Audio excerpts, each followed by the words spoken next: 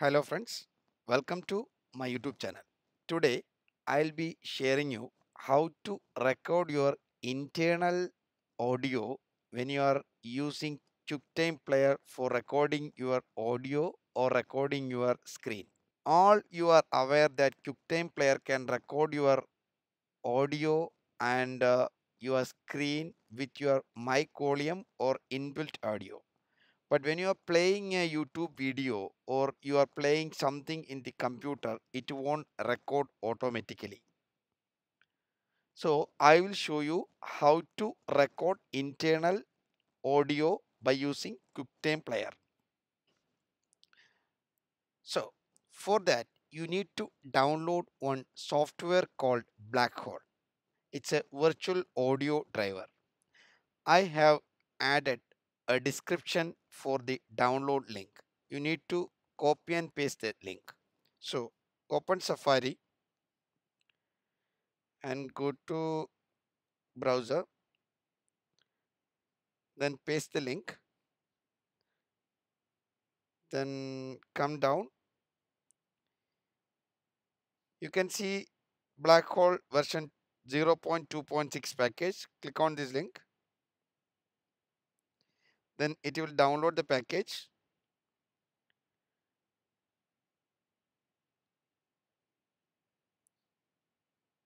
Open the package.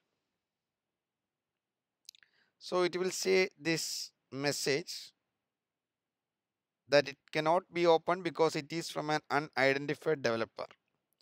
So go to security and uh, privacy from system preferences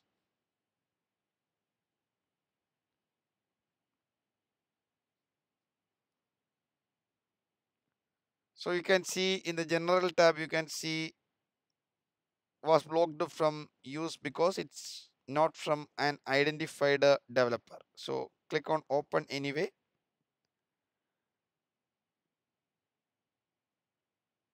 Click open. Then it will install. Continue. Click continue. Install give your administrator password click install software. You can see the software is successfully installed. Click close. Then you need to go to utilities. Here you can see audio MIDI setup. Open this.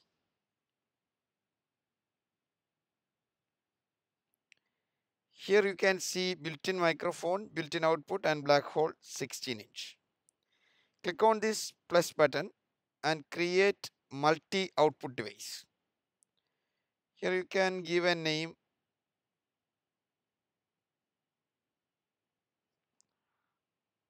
Like took time output.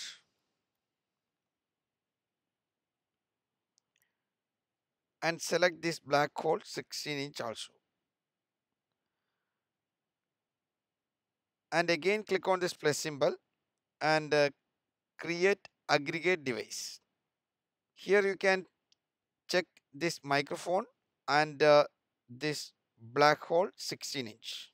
So this is the QuickTime input device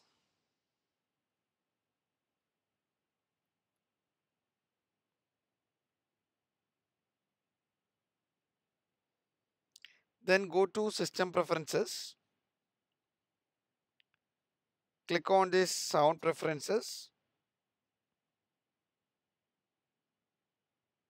So input you need to select this QuickTime input. And output you need to select QuickTime output. After that when you are recording your audio or screen recorder when you are if I'm recording an audio you need to select QuickTime input as the microphone. Then it will record with your voice including the internal audio. So now I have selected this QuickTime input as the microphone for my screen recording. So suppose if I'm playing a music with this then it will record with the music also. So after finish your record you need to go to the sound preferences and change the output and input to the normal default settings instead of avoid confusions. So our input should be external microphone for my case and output should be headphones